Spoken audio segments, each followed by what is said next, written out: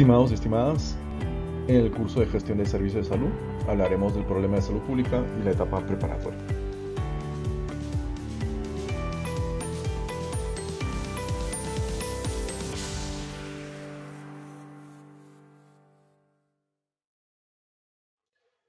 Propósito de la sesión, reconocer, analizar y explicar el problema de salud pública y manejar la etapa preparatoria de las políticas de salud pública. Definamos en principio política nacional, diseño que sustenta la acción pública y que permite integrar y dar coherencia a todo su accionar, con el propósito de servir mejor al ciudadano.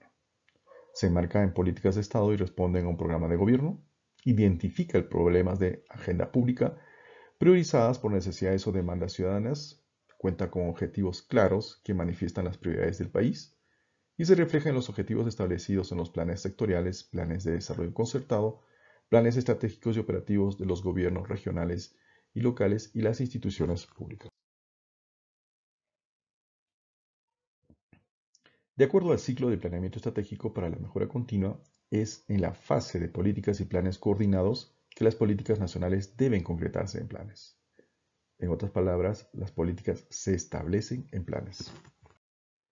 Para lograr este propósito, los sectores deben desarrollar sus capacidades de rectoría respecto a las políticas nacionales, lo cual implica fijar resultados, establecer estándares de calidad de servicios públicos, proveer la asistencia y el financiamiento necesario.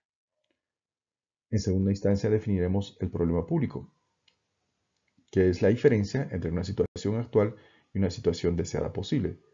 Y el carácter público aparece cuando confluyen las siguientes situaciones. Existe evidencia de carencias y necesidades en las personas o en su entorno, una oportunidad de mejora o un riesgo que se desea evitar. Los actores del ámbito político junto a la sociedad civil califican esta situación como indeseable. La solución requiere de la intervención del sector público, aun cuando también implica la intervención del sector privado o de otros actores sociales. En ese sentido, la política nacional responde a un problema público, y sin embargo, no todo problema requiere la elaboración de una política nacional. Por ejemplo, la política nacional para la prevención y control de la COVID-19 requiere de recursos humanos adicionales, y para ello no es necesario hacer una nueva política nacional. Lo que se tiene que hacer es mejorar el instrumento de gestión competente para ello. Tipos de política política sectorial y política multisectorial. Ambas establecen quehaceres. ¿sí? Quehaceres desde la perspectiva de un solo sector y desde la perspectiva de diferentes sectores. La política sectorial aborda el problema desde la perspectiva de la prevención y control, en el caso de salud. Y la política multisectorial, en relación al problema, lo aborda a través de determinantes sociales de la salud. En la política sectorial hay un ente rector. En la política multisectorial hay un ente conductor.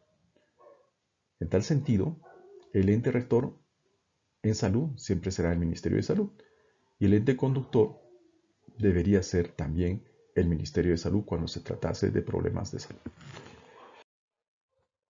¿Es pertinente o no hacer una política nacional? Y para ello utilizamos el análisis de pertinencia que es una ruta de análisis a través de la cual las instancias de coordinación y discusión de política evalúan las características y necesidades del contexto para cerciorar la conveniencia de la formulación de una nueva política nacional. Y para ello se responden tres preguntas. La primera, ¿el asunto de interés es de carácter público? Si es sí, pasamos a la segunda pregunta. ¿El asunto de interés es de prioridad nacional? Si es sí, pasamos a la tercera pregunta. ¿El asunto de interés es abordado por un instrumento de gestión? Si es sí, hay que optimizar el instrumento. Si es no, hay que elaborar una política nacional. Etapa preparatoria. Los ministerios pueden formalizar el proceso a través de una resolución ministerial, que puede ser del ente rector o del ente conductor. En la etapa preparatoria se deben identificar los responsables de ministerios y sus roles. El titular es el que lidera y conduce políticamente el proceso, los órganos de línea diseñan y formulan la propuesta de política nacional. La Oficina de Planeamiento Estratégico brinda la asistencia técnica durante el proceso de diseño, elaboración, seguimiento y evaluación de la política nacional. Y los órganos desconcentrados participan del diseño y la formulación de la política nacional.